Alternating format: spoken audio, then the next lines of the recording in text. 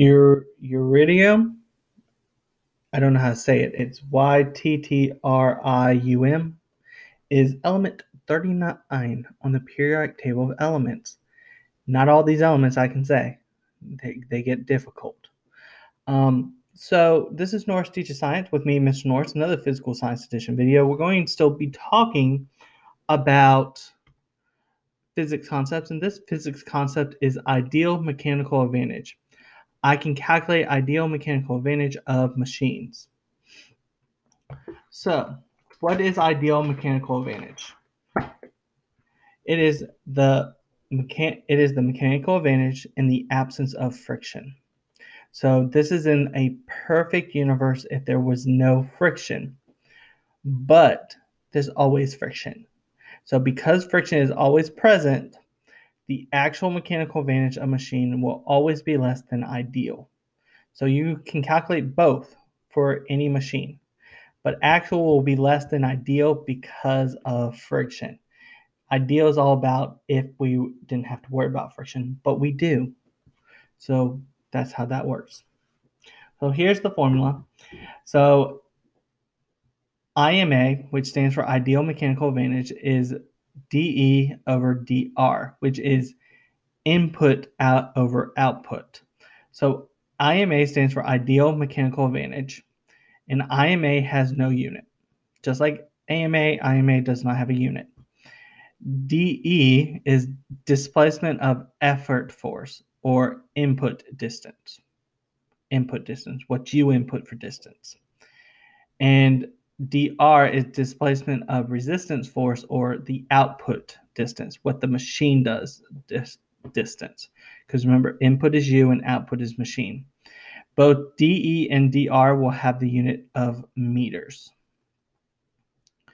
Right, if you place in the formula, because dE is being divided by dr, and we place it in the triangle, dE at the top, dr at the bottom, I am in the um, empty spot.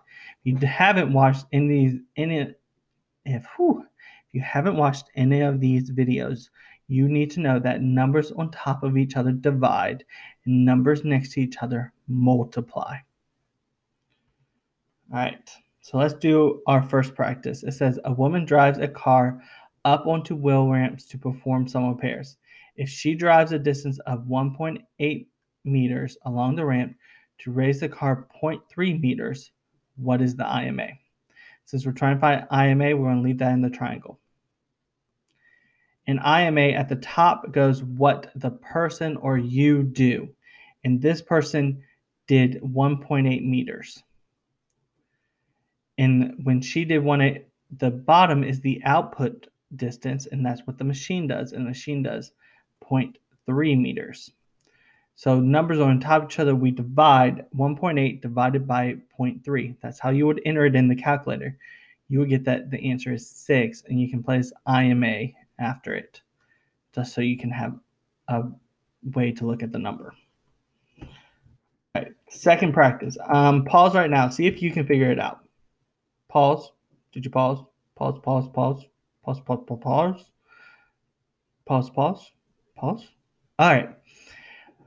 I'm going to continue. It says a construction worker moves a crowbar a distance of 4 meters to lift a load 0.5 meters off the ground. What is the IMA of the crowbar? So we're trying to find IMA, so we're going to leave that in our triangle. At the top goes the input force, what you do or what the person does. And the person did 4 meters, and the output is what the machine does. The machine did 0.5 5 meters. So when you do 4 divided by 0.5, you get 8, and then you can write IMA after it. All right. That's a little bit about IMA. Make sure you watch the AMA and the IMA so you can know how to calculate all of those. Um, hope you learned something today. I'm Mr. Norris, and I'll see you in the next video. I know these have been short, but they're short and sweet. Thank you